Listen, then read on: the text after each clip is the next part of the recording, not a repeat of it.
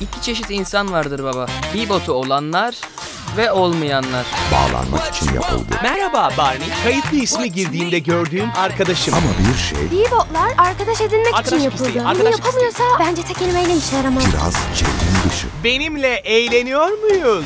Çok yakında. Ron başardı evet. Merhaba evlat, Bebop nasıl? Eller yukarı göreyim. Robot Ron. Bir sorun var. 22 Ekim'de sinemalarda.